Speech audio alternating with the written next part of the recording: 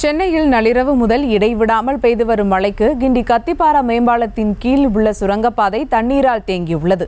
இதில் கார் ஒன்று சிக்கிய நிலையில் ஓட்டுநர் செய்த தவறினால் தவித்து வருகின்றனர். கூடுதல் விவரங்களோடு இணைகிறார் எமது செய்தியாளர் மணிவண்ணன். வணக்கம் மணிவண்ணன். விவரங்கள்.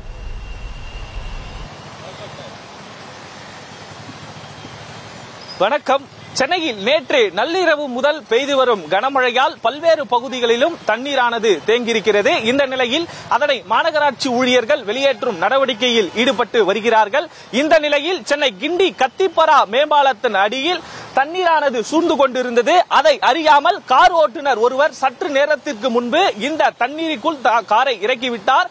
இந்த நிலையில் இங்கு இருக்கக்கூடிய காவலர் ஒருவர் மற்றும் பொதுமக்கள் தற்போது அந்த காரை தண்ணீரில் இருந்து எடுத்து தரையில் விட்டிருக்கின்றனர்.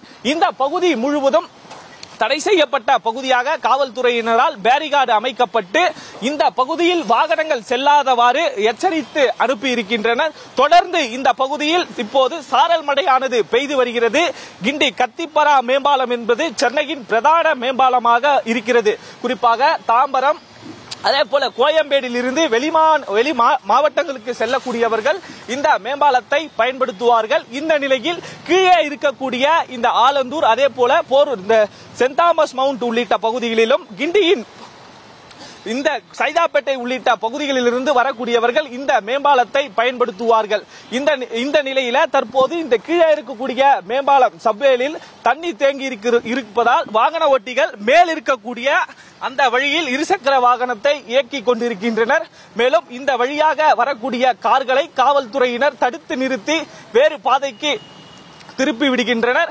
இதனால் இந்த பகுதியில் வரும் வாகன ஓட்டிகள் மிகுந்த சிரமத்திற்கு உள்ளாகி இருக்கின்றனர். குறிப்பாக காலையிலிருந்து சென்னையில் மழை பெய்து வருவதால் வேலைக்கு செல்வோர் மிகுந்த சிரமத்திற்கு உள்ளாகி இருக்கக்கூடிய சூழலானது ஏற்பட்டு இருக்கிறது. இந்த நிலையில் இந்த பகுதியில் இருக்கக்கூடிய பொதுமக்கள் இந்த தண்ணீரில் அஹ், சிக்கிக்கொண்ட காரை தற்போதுதான் மீட்டிருக்கின்றனர். மேலும் காவல்துறை சார்பில் இந்த பகுதிக்கு யாரும் வரக்கூடாது என்றும் அறிவுறுத்தப்பட்டிருக்கிறது.